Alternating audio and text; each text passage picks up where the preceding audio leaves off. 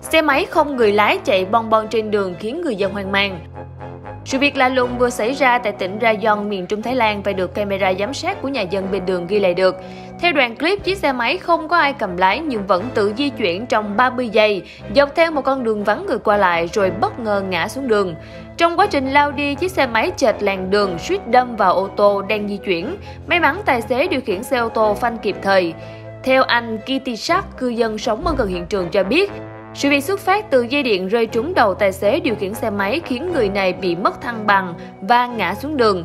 Anh cho biết mọi việc diễn ra quá nhanh, xe máy vẫn tiếp tục lao đi trên đường khi tài xế bị ngã. Camera giám sát đã ghi lại toàn bộ sự việc.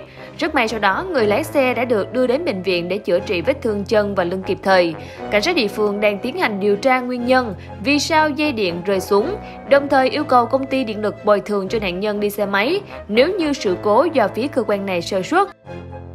Cảm ơn các bạn đã quan tâm theo dõi. Đừng quên đăng ký kênh Tình Bà Phúc để cập nhật tin tức nóng hổi mỗi ngày.